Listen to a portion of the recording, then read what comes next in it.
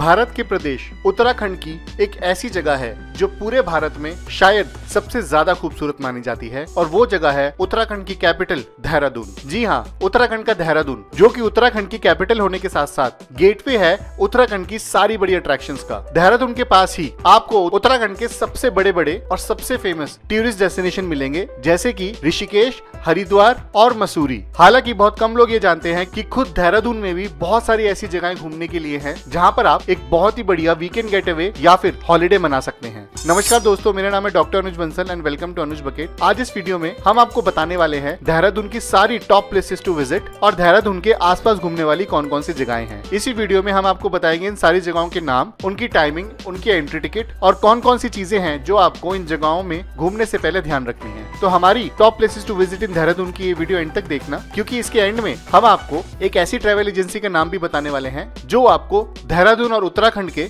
बहुत ही अच्छे पैकेजेस बहुत ही अच्छे रेट पे दे सकती है। तो अगर आप नए हैं तो हमारा चैनल ज़रूर सब्सक्राइब करें, बस दबाइए लाल बटन जिसके बाद आप दबा सकते हैं घंटे का निशान। तो चलिए शुरू करते हैं अपनी top places to visit in Dehradun की वीडियो जिसमें आज इस वीडियो में दिखाई जाने वाली हर एक जगह की एग्जैक्ट मैप लोकेशन आपको हमारे डिस्क्रिप्शन में दिए गए गूगल मैप्स के लिंक पे मिल जाएगी, जिसमें सबसे पहली जगह है नंबर एक रॉबर्ट्स केव तो गाइज़ हमारी अगली जगह है देहरादून का सबसे बड़ा हिडन जैम लोकली सबसे फ़ेमस यहाँ का रॉबर्ट्स केव जी हाँ रॉबर्ट्स केव जिसे गुच्चू पन्नी रॉबर्ट्स केव के नाम से भी जाना जाता है। ये रॉबर्ट्स केव की सबसे खास बात ये है कि ये यहाँ के लोकल्स को सबसे ज़्यादा है बट इंटरनेशनल नेशनल टूरिस्ट जो देहरादून आते हैं, उनके लिए ये अभी भी एक हिडन जेम है। ये एक लाइमस्टोन केव है जहाँ से पानी लगातार निकलता रहता है और इस लाइमस्टोन केव में आप सिर्फ़ तीस रुपए की टिकट देके अंदर तक आ सकते हो और केव्स के अंदर तकरीबन घुटनों तक के पानी में एंजॉय कर सकते हो। चाहे जितने अंदर तक केव्स आते हैं, उतने अंदर तक आप जा सकते हो। ये टूरिस्ट के लिए बिल्कुल सेफ़ केव्स है और कहते हैं कि यहाँ की फॉर्मेशन एक नेचुरल फॉर्मेशन है और ये भी माना जाता है कि इन केव्स में पहले के जमाने में रॉबर्स और लुटेरे आकर अपना हाइड आउट बनाते थे, जो कि यहाँ पे चलते फिरते लोगों को लूटते थे, वो यहीं पर आके छुपते थे। इसीलिए इस जगह का नाम रॉबर्ट्स केव पड़ा है। हालाँकि ये जगह टूरिस्ट के लिए खोल दी गई और आज के समय पे देहरादून की बहुत ही बड़ी हिडन जेम है, जिसको आपको एक ना एक बार विज़िट ज़रूर करना चाहिए। यहाँ पे अगर आप गुंडीचा केव्स के अंदर, पानी के अंदर जाना चाहते हो तो आपको दस रुपए की एक चप्पल किराए पे लेनी पड़ेगी,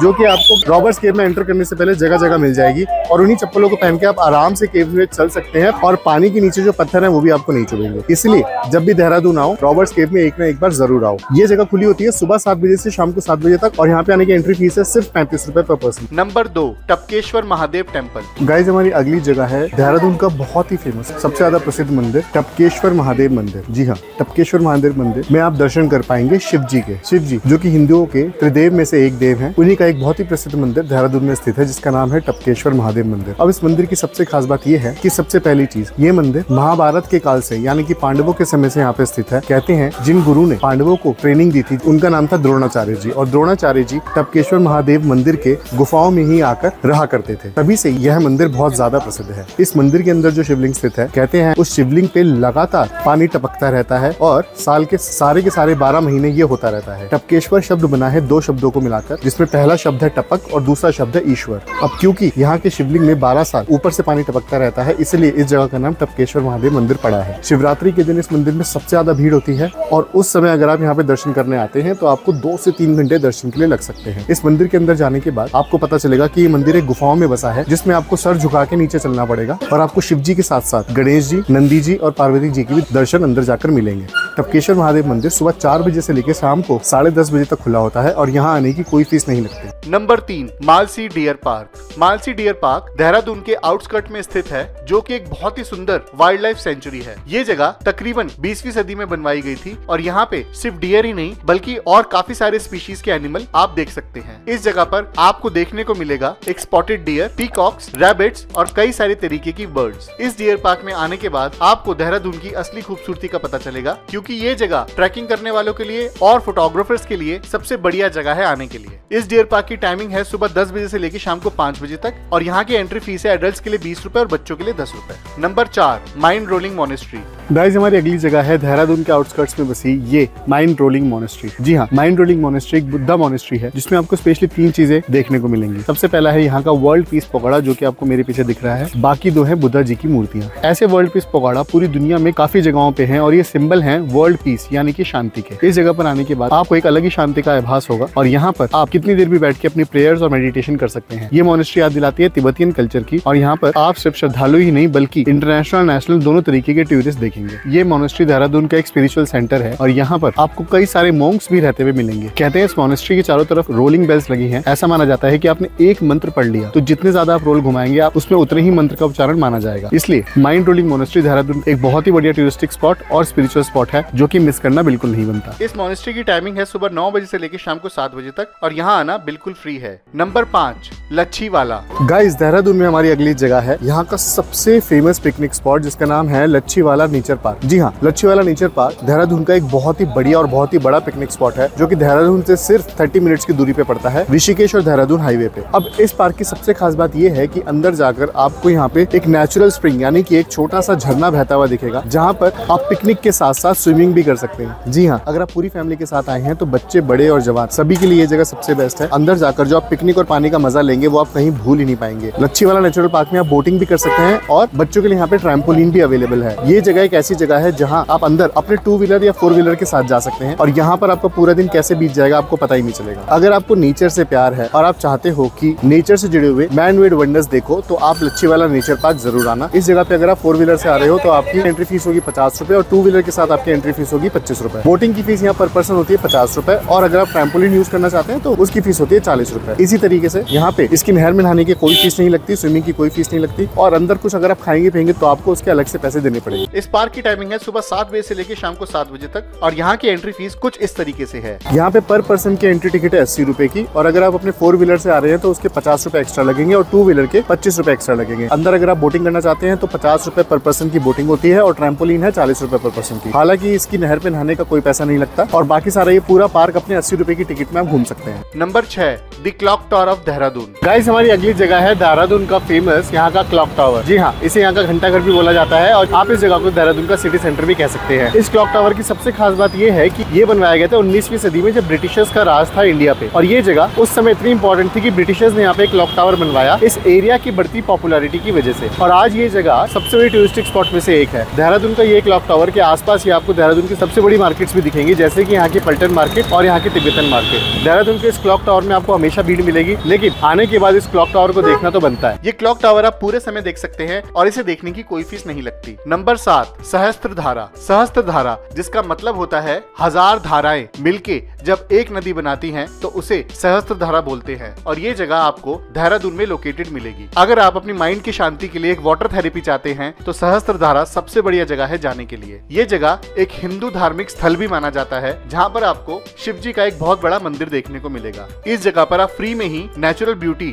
और देहरादून से गुजरने वाली बहुत ही खूबसूरत नदी का मज़ा ले सकते हैं। इस जगह पर आपको एक अम्यूजमेंट पार्क भी देखने को मिलेगा, जिसमें आपको झूले और राइड्स के साथ साथ वाटर एक्टिविटीज़ भी करने को मिलेंगी। सहस्त्र धारा लोग नहाने मेडिटेशन करने और एक नेचुरल थेरेपी लेने के लिए आते हैं। ये जगह टूरिस्ट के लिए पूरे साल खुली होती है और यहाँ आना बिल्कुल फ्री है। हालाँकि यहाँ पर नहाने या बाथ लेने का समय है सुबह आठ बजे से लेकर शाम को सात बजे तक का। नंबर आठ तपोवन मंदिर। गाइज़ हमारी अगली जगह है ये। इस जगह का नाम है वैदिक साधना आश्रम तपोवन मंदिर। जी हाँ इस जगह को तपोवन आश्रम के नाम से भी जाना जाता है और ये जगह वेद ज्ञान के लिए सबसे ज़्यादा प्रसिद्ध है। इस जगह का इनॉग्रेशन किया गया था 1949 में महात्मा आनंद स्वामी जी के सहयोग से गुरु गुरमुख सिंह जी के द्वारा। कहते हैं उस समय यह आश्रम देहरादून से कुछ ही दूरी पे एकदम जंगलों में बसाया गया था जिसके बगल से यहाँ की नदी भी गुजरती है। और इसीलिए ये जगह मेडिटेशन और तप के लिए बहुत ही बढ़िया जगह है। इस आश्रम की टाइमिंग है सुबह छह बजे से लेकर शाम को सात बजे तक की और यहाँ आना बिल्कुल फ्री है। नंबर नौ, तिब्बतियन मार्केट। तो वही देहरादून में हमारी अगली जगह है ये, जहाँ पर हम घूम रहे हैं। ये है यहाँ की तिब्बतियन मार्केट। जी हाँ जैसे नाम सजेस्ट करता है ये मार्केट। यहाँ की एक ऐसी मार्केट है जहाँ पर आप बहुत ज़्यादा बार्गेनिंग कर सकते हो। यहाँ पर आपको बहुत सारी चीज़ें मिलेंगी। यहाँ पे कपड़ों से लेकर जूते हैंडबैग से लेकर एसेसरीज आपको सब कुछ मिलेगा। अगर आप देहरादून आ रहे हो और आपको शॉपिंग करनी है तो तिब्बतियन मार्केट से अच्छी जगह कोई हो ही नहीं सकती। कहते हैं की यहाँ पर तिब्बत से आए हुए रेफ्यूजी ने देहरादून में शरण ली थी तो यहाँ पर उनकी पॉपुलेशन बहुत ज़्यादा बढ़ने लग गई थी। और वो क्योंकि यहाँ का एक हिस्सा बन गए थे, यहाँ पर एक मार्केट बनाई गई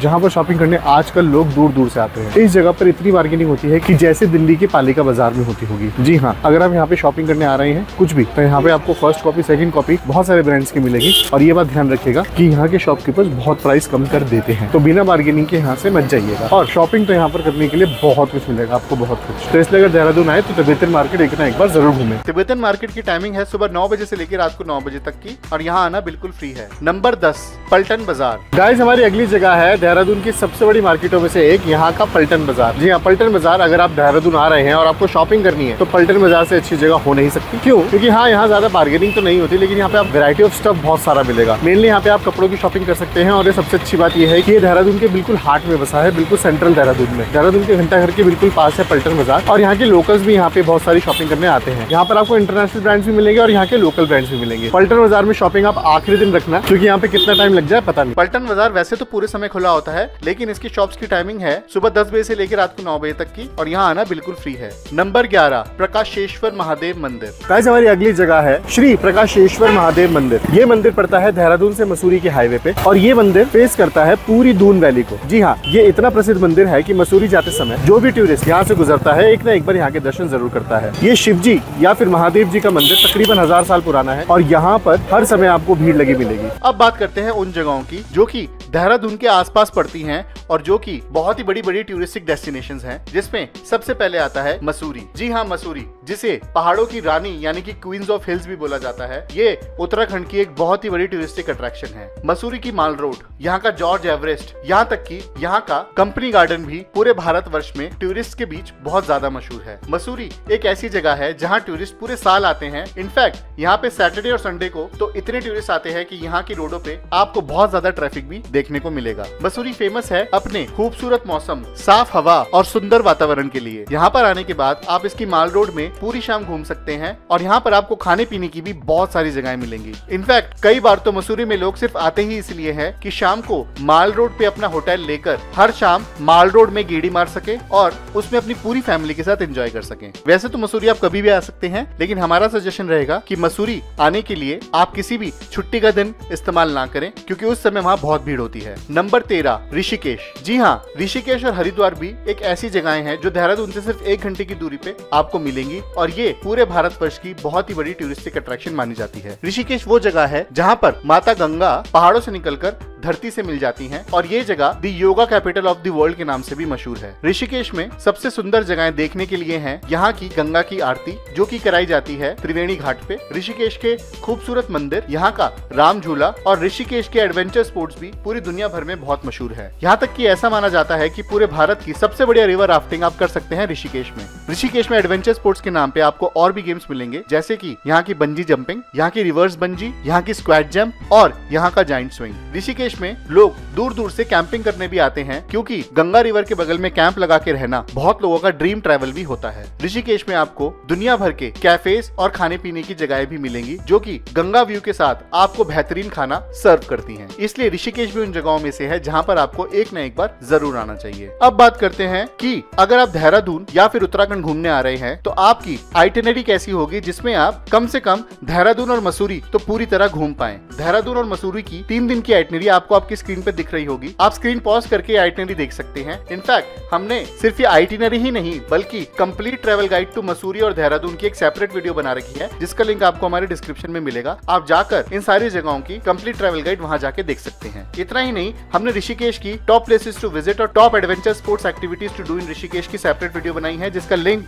आपको फिर से हमारे डिस्क्रिप्शन में मिलेगा। आप जाके वो भी देख सकते हैं। अब आपको बताते हैं उस ट्रेवल एजेंसी के बारे में, जिससे बुकिंग करके हमने पूरा देहरादून और मसूरी घूमा। ये पैकेज हमने बुक किया था ज्ञान रचना टूर्स डॉट कॉम ऐसी जी हाँ ज्ञान रचना टूर्स डॉट कॉम आपको मसूरी और देहरादून के अलग अलग पैकेजेस प्रोवाइड कराती है, जिसमें आपको वह होटल फ़ूड और ट्रांसपोर्टेशन भी इंक्लूडेड देती है। इस वेबसाइट की सर्विस हमें इतनी पसंद आई कि हमने यहाँ का मसूरी ट्रिप बुक किया और इसीलिए हम आपको ये वेबसाइट रिकमेंड कर रहे हैं। इस वेबसाइट का बुकिंग लिंक आपको हमारे डिस्क्रिप्शन में मिलेगा। आप उसे क्लिक करके यहाँ पे मसूरी या फिर कहीं और का भी पैकेज बुक कर सकते हैं। तो ये थी हमारी top places to visit in Dehradun की वीडियो आई होप आपको वीडियो पसंद आई है। अगर पसंद आई है तो लाइक करें, नहीं है तो सब्सक्राइब करें। और अगर आपको लगता है कि आप इस लिस्ट में कुछ ऐड ऑन कर सकते हैं तो हमारे कमेंट्स में ज़रूर लिख दें। इसी के साथ साथ हमने सिर्फ़ देहरादून की नहीं, बल्कि पूरे इंडिया और पूरे वर्ल्ड की टॉप सिटीज़ की कंप्लीट ट्रैवल गाइड बनाकर उसकी वीडियोस और उसकी कंप्लीट ट्रेवल गाइड अपने ऐप में इकट्ठी करके दे रखी है, जिसको डाउनलोड करने का लिंक आपको हमारे डिस्क्रिप्शन में मिलेगा। तो आज हमारी ऐप डाउनलोड करें और वहाँ जाके लें किसी भी जगह की complete travel guide so it very nice to be with you again be well नमस्ते हमारे चैनल की सारी ट्रिप्स के बिहाइंड द सीन्स आपको मिलेंगे हमारे इंस्टाग्राम चैनल पे। तो हमारे यूट्यूब चैनल को सब्सक्राइब करने के साथ साथ हमारे इंस्टाग्राम हैंडल को भी फॉलो करें और वहाँ जाके देखें कि कैसे बनाते हैं हम ये सारी वीडियोस तो बस अभी इंस्टाग्राम पे जाओ और हमारा फॉलो